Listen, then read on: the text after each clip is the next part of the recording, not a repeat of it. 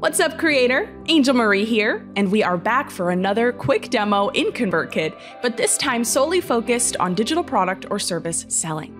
So, the first step you're going to take is to head into the Earn tab in the top navigation and click New Products. Then you'll click on New Product. From there, you'll put on your product or service name, and then you'll give it a pricing method, which can be a one time fee, a subscription, or a pay what you want method that allows your customers to choose a price to pay. Then go ahead and place an actual price on it.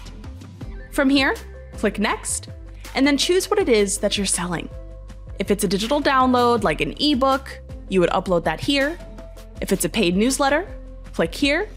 And if it's any service you're selling, head here. Then click Next again to give your product or service page a customized link, and then click Create Product.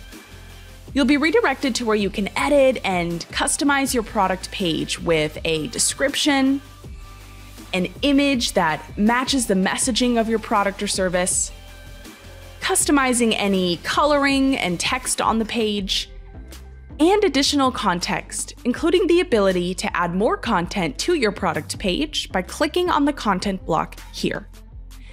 Next, you can customize the checkout page, the confirmation page, and the email receipt that your buyers will automatically receive from you the minute they purchase. Now, when you're done customizing your product page and the checkout process, you can head to Publish to grab a hold of the link to share with those potential buyers. And that's it. Once you begin collecting payments through this product page, you can view all upcoming payouts and previous payouts you've received right here. You're all ready to start selling and earning from your audience. Thanks for watching, and we'll see you in the next video.